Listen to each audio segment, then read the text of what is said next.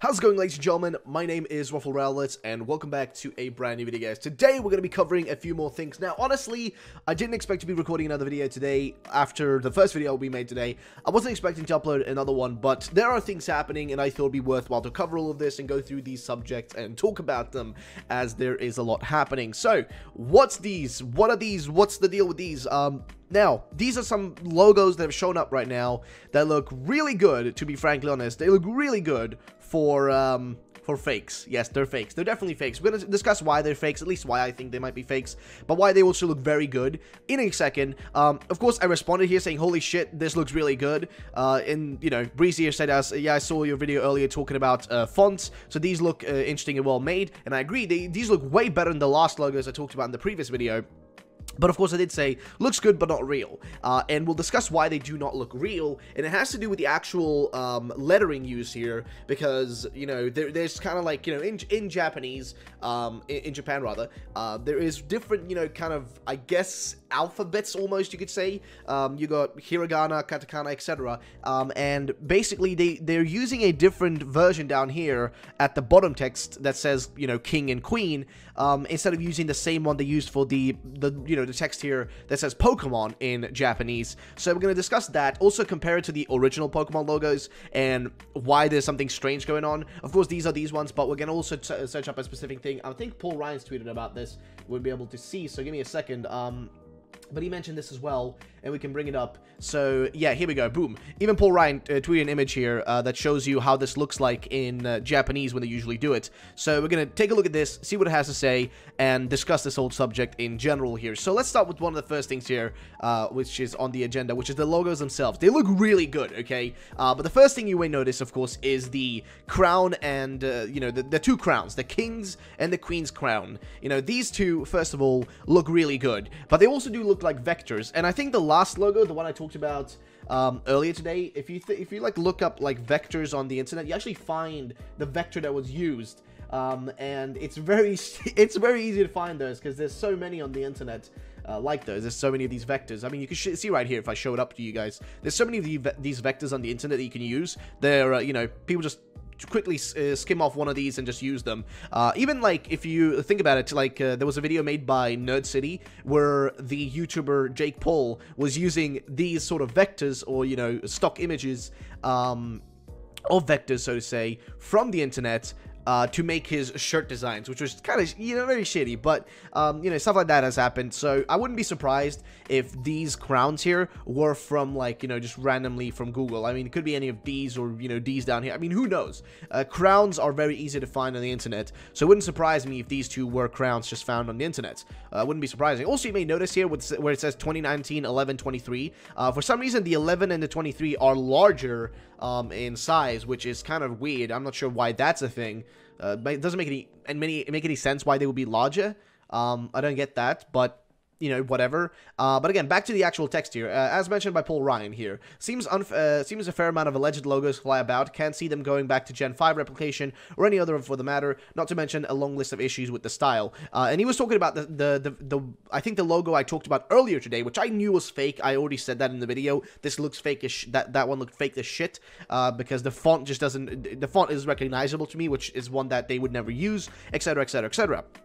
But if you look at the actual Pokemon logos, the Japanese ones, I think when he mentions, uh, he mentions specifically like uh, Black Gen 8, uh, it was the, these ones down here. I think what he means by that is like, you see how the Pokemon logo goes like that there? Uh, the same thing happens here if you look right there. Boom, you got the same thing going on uh, with the Pokemon logo. And also, on top, I mean, all of these have the Pokemon logo in the corner. That's not what I'm really talking about. I'm talking about like the circular area up there, which they haven't done that circular thing uh, in anything besides Gen 5. So I think that's what he's talking about there, as well as how, you know, know, they kind of add this extra area down here, like this bottom part, where you can easily, uh, what's the word I'm looking for here? You can easily kind of like, uh, you know, recognize how similar these are, like going down. Uh, and you can also see how they kind of cut it off in a weird way, sort of. But uh, yeah, besides that though, what else? There is also, let's see, uh, well, in terms of recognizable things, you will notice that the text here is in a different, um, you know, different alphabet, I guess. Uh, I'm not sure what the mid middle one is. I mean, I don't know Japanese uh, alphabets. I think some of one of my viewers actually explained this way better than me. Uh, if I remember to find his Twitter account and his tweets about it, I'll link it down below. If I don't find it, I think somebody in the comment section can figure this out and tell me exactly what I'm seeing, well, you know, what I'm missing here. But As far as I know, these are written in two different, uh, you know, two different, um, alphabets, to put it bluntly. Actually, I think I might have it over here if I'm just going to check real quick. I think somebody did mention this to me, so I might as well look into it and see what the deal is. Um, I might be wrong, though. Oh, actually, somebody I was able to, um, find a PNG of the crown. That's great. Okay, so we actually, we have a proof now uh, of the, uh, also, I need to mention another thing. Here we go, boom. So, boom. So there's the logo, right? You got the crown right there. And here's the crown right there. There it is. Actually, how many circles is it? 1, 2, 3, 4, 5, 6, 7, 8, 9, 10, 11. So 11, that's 1, 2, 3, 4, 5, 6, 7, 8, 9, 10, 11. Yeah, it's the same crown. Literally found the same crown. Well done. So, that proves it's fake. Literally, that proves it's fake. I don't even need to look into the actual font and text and all that stuff to prove it's fake. So at least we got that proof now. Boom, that's debunked. Uh, that means we've debunked already one set of logos today, and we're debunking another set of logos. At least we know these are fake now as well. So these are fake. What else do we have to talk about today? Because I had some other subjects I want to talk about in this video. I had one large-ass rumor I want to talk about, but then I got something else sent to me that was very interesting, which I thought would be worthwhile covering, which was this email here. Now, I've actually taken out the name from the person who sent this to me, as I do not want to disclose their name. Uh, but this was a huge ass message here, so I'll read through the whole message and tell you guys what it has to say to me, and we'll talk about it. So, hey Ruffle Rally, my name is Nanana, and I'm an employee of Nintendo Canada. Basically, what my job enlists is to uh, is to, is a different wait going to wait entails is going to the different EB Games, Toys R Us, Walmart stores to set up displays or provide promotional materials for popular releases such as the Nintendo Switch, Super Smash Bros, Super Mario Party, and the like. I was hired in on on in August of 2018, just a few months prior to the release of the Pokemon Let's Go Beach Go Eevee games. Recently, there was a conference in Toronto, uh, Ontario for Nintendo Canada reps, and we were given an inside look into games that will be released later this year. At this conference, we are given information packages that include uh, specific details that we are allowed to share once the games have been announced. While not all games are included, there are some major surprises in the packages here. Legend of Zelda, Super Mario Maker, and probably what I found most shocking and exciting of all, Pokemon 2019, they haven't revealed the titles to the reps at my level yet. They we are technically supposed to keep this information private until the time of release, but I have to admit this part of my uh, job is very difficult, especially as someone who has played Pokemon games for the past 20 years and I'm proud uh, uh, and is a proud and avid fan of the series.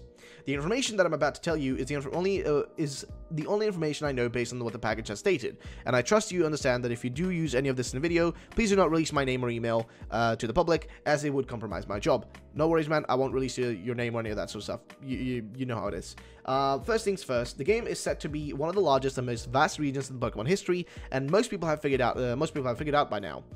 Uh, is indeed based on the United Kingdom, which okay, um, I still don't know if the UK is going to be it, guys. I know I've talked about it being the UK a million times. I know I've talked about all the hints and stuff, but I'm still a little bit torn on it. I know it might be strange, but that's how I feel. Second, the titles and starters of the games are going to be revealed on February 26th, uh, 20, 20, okay, so that's what everybody's been saying, though. On the 27th, there will be a Treehouse Q&A that discusses the new titles, and will feature the first official trailer for the game, which we, uh, we were shown an early version of at the Nintendo uh, Rep conference. The trailer features a look at many of the big buildings in the past games in the in the beginning and then fades out. When it fades back in, a beautiful shot of the building base of the Big Ben and the Parliament building is shown. It pans across to show a London Eye themed Pokemon training facility. A small bird type Pokemon silhouette uh, flies across the screen, transi transitioning into a look at the starter Pokemon.